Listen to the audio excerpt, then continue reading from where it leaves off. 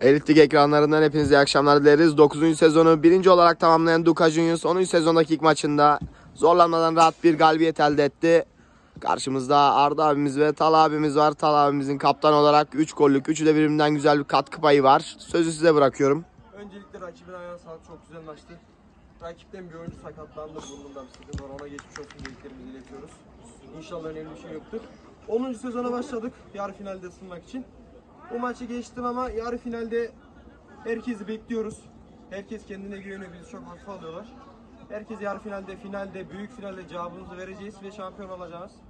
Bunu da her yere yazacağız inşallah. Güzel bir maçtı. Rakibin ayağına sağlık. Biz bu maçı antrenman niteliğinde oynadık. Çok da kastığımızı düşünmüyorum.